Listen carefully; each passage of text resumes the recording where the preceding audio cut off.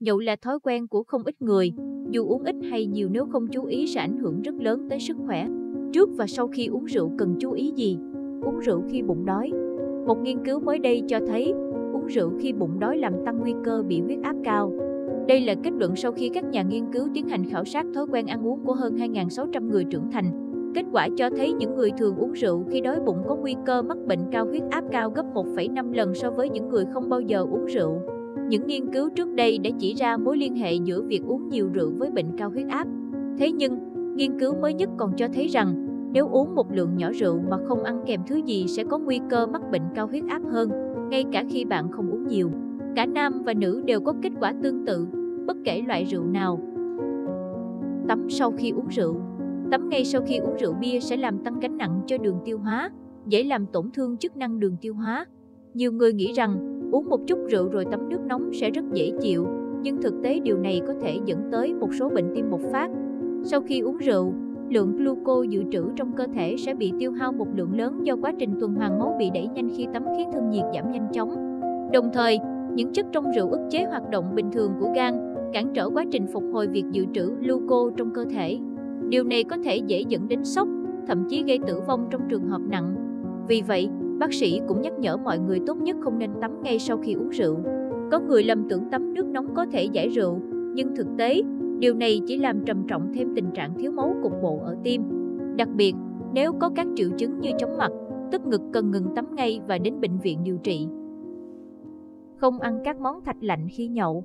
Các món lạnh có thể là lựa chọn yêu thích của một số người khi đi nhậu, nhưng điều này không tốt cho dạ dày, đặc biệt là vào mùa đông.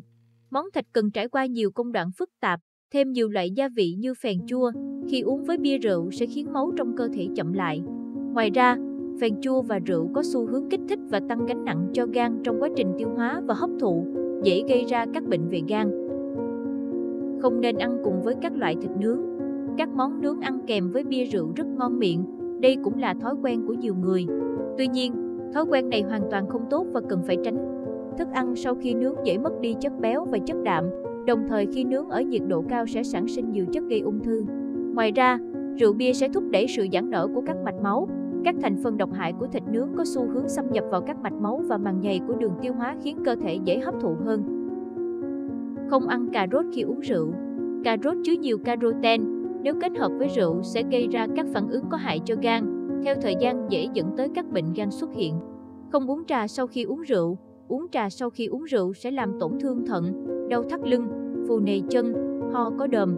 Nhiều người cho rằng uống trà có thể giải rượu, nhưng quan niệm này hoàn toàn sai lầm. Rượu có vị cay nồng, khi đi vào kinh lạc gan phổi sẽ làm dương khí tăng lên. Lúc này, trà có vị đắng tính hàn, sự kết hợp này hoàn toàn không tốt cho thận. Những loại thực phẩm giảm triệu chứng buồn nôn sau khi uống nhiều bia rượu. Nho, sau khi uống rượu, hơi thở rất nồng, nếu ăn vài trái nho tươi, chất trong nho sẽ giúp trung hòa ethanol trong rượu tạo thành ester, khiến cơ thể cảm thấy dễ chịu và bớt say. Cà chua cũng là một loại thực phẩm chống say hiệu quả. Các nghiên cứu đã phát hiện ra rằng cà chua có chứa đường fructose đặc biệt có tác dụng thúc đẩy quá trình phân hủy của rượu. Vì vậy sau khi uống rượu nên uống 300ml nước ép cà chua dù say hay không để bảo vệ gan. Quả ô liu có thể được ăn sống hoặc sấy khô. Nếu bạn cảm thấy không khỏe sau khi uống rượu, nôn mửa, chán ăn, bạn có thể ăn trực tiếp một vài quả ô liu hoặc hầm ô liu với thịt. Bưởi có tác dụng giải rượu rất tốt, dù bạn không say sau khi uống rượu thì lượng cồn vẫn chưa đào thải hết ra ngoài cơ thể. Lúc này, bạn có thể ăn vài muối bưởi, vừa giúp tỉnh táo vừa làm hơi thở thơm tho hơn. Trong trường hợp khó chịu sau khi uống bia rượu, bạn có thể ăn chuối. Chuối có tác dụng cải thiện lượng đường trong máu, giảm nồng độ cồn, chứng buồn nôn sẽ biến mất.